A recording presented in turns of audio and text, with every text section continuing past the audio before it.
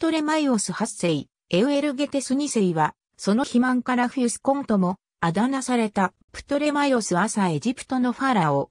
紀元前170年にアンティオコス4世エピファネスが、エジプトに侵攻し、プトレマイオス6世フィロメトルを捕らえて、シリアの区物としたため、それに対抗して、アレキサンドリアがエウエルゲテスを王として担ぎ上げて、プトレマイオス8世の治世が始まった。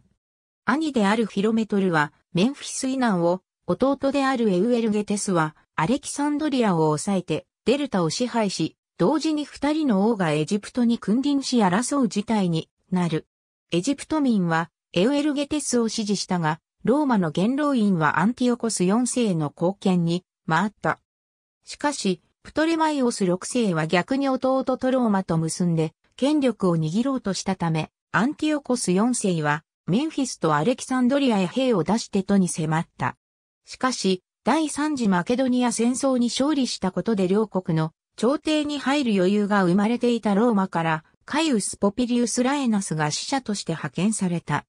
もはや地中海に対抗勢力のない強大なローマの仲介に対し、アンティオコス4世は応じるほかなく、シリアの兵が引いた後のエジプトは、プトレマイオス6世に任され、エウエルゲテスも、切れないかを得た。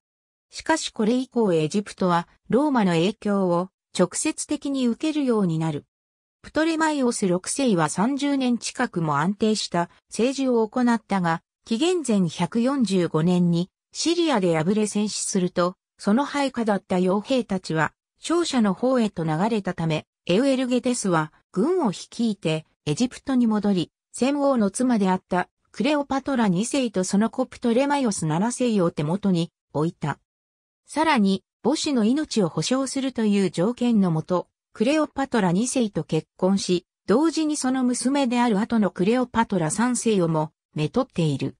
二人の間に子が生まれると、王位継承者でもあった、プトレマイオス7世を殺し、ローマの支援も受けて、エジプトを掌握した。二人の女神ウアジェトとネクベトがとなるプトレマイオス8世しかし母子と同時に結婚したことや、相次ぐ戦争と重税とで人気を落としたプトレマイオス8世は民衆から支持されず、暴動さえ起こってハントが宮殿を囲むこともあった。さらに宮廷内では、プトレマイオス8世とクレオパトラ2世、3世の権力争いが続いた。ついに、クレオパトラ2世がアレクサンドリアで兵を起こしたため、プトレマイオス8世は若いクレオパトラ3世とキプロスに脱出することになる。エジプトは残ったクレオパトラ2世が治めることになったが、プトレマイオス8世はそれを恨んだのか自分とクレオパトラ2世の子であるメンファイテスを刻んで殺し、誕生日に合わせて送りつけたと伝わる。